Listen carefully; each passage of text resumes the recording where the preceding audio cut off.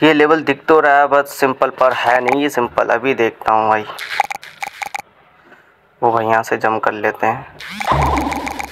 इधर भी ग्रीन है तो इसको ले सकते हैं थोड़े बहुत।